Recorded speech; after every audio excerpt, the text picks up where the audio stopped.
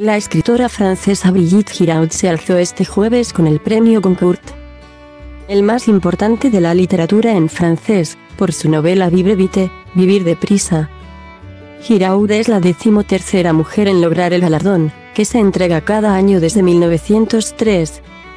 Vivre vite, publicado en Francia por la editorial Flammarion, narra una investigación para intentar descifrar los entresijos del accidente mortal de tráfico que sufrió su pareja 20 años antes. El anuncio se realizó, como es tradicional, en el céntrico restaurante parisino Drouand, donde el jurado se dio cita para realizar la votación y otorgar el premio. El premio Goncourt ha sido adjudicado en la decimocuarta ronda de votación a Brigitte Giraud anunció la escritora e integrante de la Academia Goncourt, Paule Constant, en medio de una gran expectación mediática.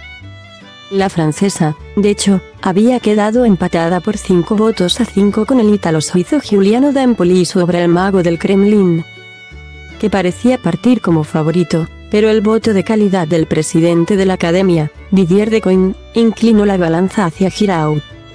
Es magnífico, dijo a la prensa la autora al acudir al restaurante Drouand. Como es costumbre, para compartir almuerzo con el jurado del Goncourt. Giraud también afirmó que en el momento de conocer la noticia pensó en su fallecida pareja, Claude, y en cómo el amor la había llevado a esta victoria. Además se da en Poli su novela sobre las intrigas del Kremlin, Completaban la lista de cuatro finalistas de este año el haitiano Mackenzie Orcel y Sune Meumaine y la también francesa Chloé Corman. Con Les Presques Urs.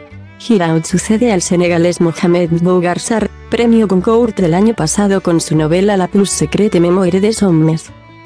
Y se convierte en una de las pocas mujeres galardonadas con el premio más importante de las letras francesas en algo más de un siglo de historia. Incluso entre los miembros del jurado, las mujeres han tenido escasa presencia en la Academia Goncourt.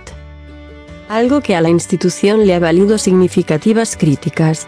El Goncourt fue creado en su testamento por el escritor decimonónico francés Edmond de Goncourt. Entre sus ganadores están algunos de los grandes nombres de las letras francesas del siglo XX.